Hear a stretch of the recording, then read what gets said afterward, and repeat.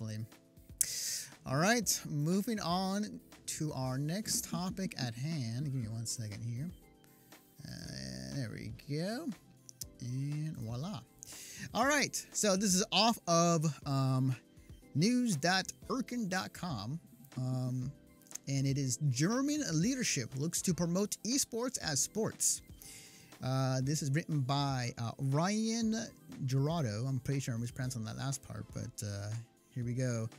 There's acceptance in the air as Angela Merkel's leadership coalition seems to agree on esports growth into the mainstream competition.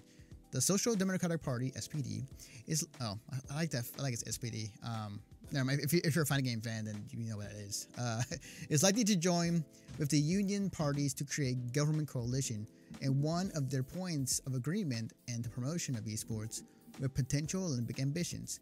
Negotiations are expected to close today and are expected to state that the new government will support local clubs and esports efforts. The move would also be expected to simplify the visa process for competitors attending German events, along with other benefits to not only the players but also the industry as a whole. And the reason why I want to bring this up because there has been rumblings as far as like trying to bring video games into esports, trying to trying to bring it into um, the Olympics is what I've also heard as well. We're at a point when it comes to competitive game, uh, fighting games, or just in games in general, that not too recently ago we had Overwatch League launch with about 10 million viewerships um, at, a, at, a, at, the peak of its level, and was more than a uh, than a football game on Thursday on Thursday Night Football, and uh, it again it again begs the question again as as time goes on and as people are starting to wanting to watch more competitive video games rather than real sports, do you think that it is time to reconsider uh, esports, a, a sport or part of the Olympics or what have you? Well, I think it, I think it absolutely needs to be defined as a sport. Um, I think uh, you know you look at the term sport; it literally is about competition. It, it's it's it's not necessarily about athletics; it's about competition. I don't want it at the Olympics because the Olympics are about athleticism, not. And, and as much as I love competitive esports, like don't get me wrong, adore fucking competitive esports. I do not think that in any way, shape, or form is an esport athletic. I do think that you need to be in shape. I think that that's important. Mm-hmm. Um, if you are in shape, your mind works a little bit better. But I don't. I just don't consider esports to be athletic, and to me, that's what Olympics is. Now, when we're talking about should we be considering esports a sport, absolutely, hundred percent. Like, like hundred percent. So, so yeah, I for me, like I've always went back and forth on this issue. Like I've always been like on the side of like, yes, of course, esports should be a sport. Why why shouldn't it be? Like the amount of effort that players have to go through to compete, and not just in fighting games, but we're talking about like in uh in RT uh, in mobile games. Um, you know, you hear about these teams who uh, basically have a um a house basically of them just come just training the entire three four months before they go out to a big major like for dota 2 like for uh, league of legends. Um, you have players traveling across the world like players. They're being signed up for with sponsorships. You're seeing uh, investments from com- yeah, from that. from other sports uh, companies uh, you know that are investing in esports. They see exactly what could potentially what it could be and what it what it's it's uh, uh, potentially could be uh, exploding into a, uh, a new era of esports. So is it something that, that will blossom to something that's going to be huge? I think it will. Um, do I think by definition it should be considered a sport? You know, I, the, the, old man says no, but the the, the but the, the new generation of, of gamers and the new generation of entertainment says yes. It's kind of weird. It's kind of I feel like it's like it depends on, on what you see as a sport versus what you don't. Um, and some people argue like you know poker was on ESPN, um, chess was you know is considered you know a sport, and so like I I I, I personally I, I absolutely consider poker and chess to be sports. Mm-hmm. I sure as hell don't want to see either of those at the Olympics. Yeah, it's it's it's it's, it's gonna be an interesting year. It's gonna be interesting years as far as like from here on out. To say it wasn't already, but like Uh, just to bring something up, also, if you're watching this podcast late, I'm going to reference something in the chat again. Uh, so apparently, uh, Mighty Sandwich says that there's a term called cyber athlete. oh my god. It's really dumb. It's really Oh. stupid. That's almost uh, uh Valère. What was your favorite uh, new term for uh, uh for that game we were playing? Uh, what was it? Uh, it was a rogue something. Rogue, I I'll, I'll say this. But I'll say this. I have not heard of cyber athlete in eons. that was that was brought up because what was it?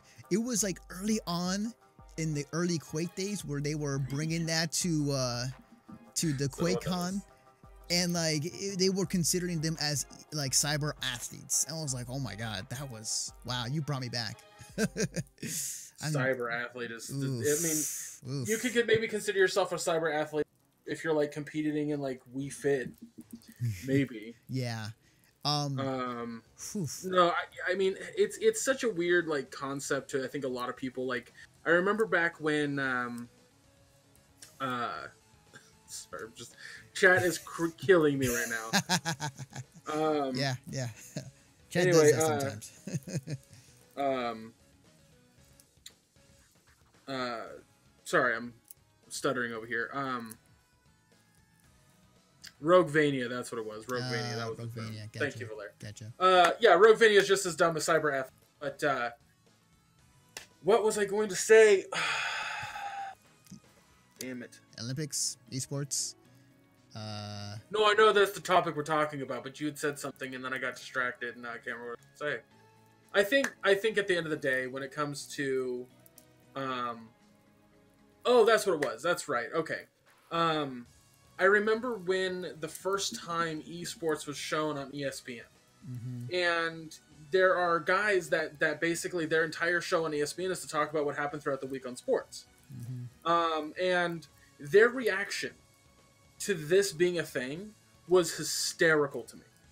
Because as yes they're the jocks that make fun of the nerd and that's kind of annoying and shitty um, they also didn't understand it they didn't understand why it had gotten such high ratings why so many people were end up watch ended up watching it Mhm. whereas regular sports people weren't watching as much they were thoroughly confused and scared and it was so goddamn funny to me Yeah. um and so like that and but that reaction also showed me that it's hard it's going to be hard to convince football fans baseball fans basketball fans hockey soccer tennis golf that playing a competitive game is a sport Yeah. that it doesn't have to be athletic hmm uh, some guys, however, which I have heard, some older guys who are on ESPN were like, "Well, do you consider uh, poker a sport? Does it does it does it deserve to be on this channel?" hmm about that. Yeah, of course you didn't think about that because you think it's a video game. It's for kids. That's your immediate thought, and you're being ignorant. So and I think and I think the turning point for that even came even uh, three four years ago at Evo, um, where uh, there were highlights that were brought from Evo onto ESPN and they were being covered, and uh, it was like the, one of the, the most infamous was um, a, a Guilty Gear player was playing um, was playing against Ogawa, one of like the best Guilty Gear players in Japan, at Evo, and he had thought he'd won the, the, the match, the, the round. And he stood up, he was celebrating, and didn't realize that it was another round to play. So then the minute he realized that Ogawa took advantage, killed him, and then you know won, he celebrated, and he was like he couldn't get to his stick in time to to to uh to fight. So like since then, since that very moment, ESPN has been uh, finely tuned on esports. They have their own esports section now on ESPN, as well as a podcast um, about esports. So they are finally realizing like this is more than just a hobby that everybody does. This is becoming much more of a professional thing. Um, Oh yeah, when when fucking uh, Overwatch League gets more viewers than any game during the, the NFL playoffs did. that's that's huge. That speaks that speaks numbers. Did you see? Did you see the numbers? Uh, actually, I'll talk about it in the next segment. Never mind. yes, save it. Save it uh, for the Overwatch minute, which will happen in about three, two, one. All right, there we go. All right, guys. And then let me get this set up real quickly. Oh, actually, before that, uh, give me one.